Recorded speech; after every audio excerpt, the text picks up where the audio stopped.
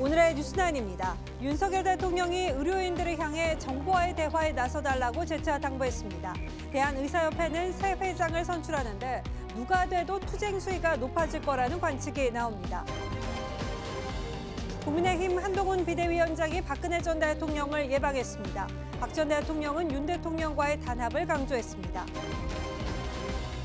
민주당 이재명 대표가 목요를 찾아 정시에 무관심하면 저질 인간에게 지배당한다며 투표 참여를 호소했습니다. 대장동 재판에도 출석했는데 총선 전날 재판이 잡히자 가혹하다고 반발했습니다. 도심 한복판에 타조가 출몰하는 소동이 빚어졌습니다.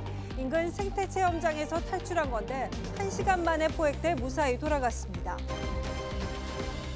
LA 다저스 오타니 쇼헤이가 전담 통역사의 불법 도박과 관련해 연루설을 공식 부인했습니다. 통역사가 자신의 돈을 훔치고 도박 사실도 숨겨왔다고 했습니다. 뉴스 9에서 뵙겠습니다.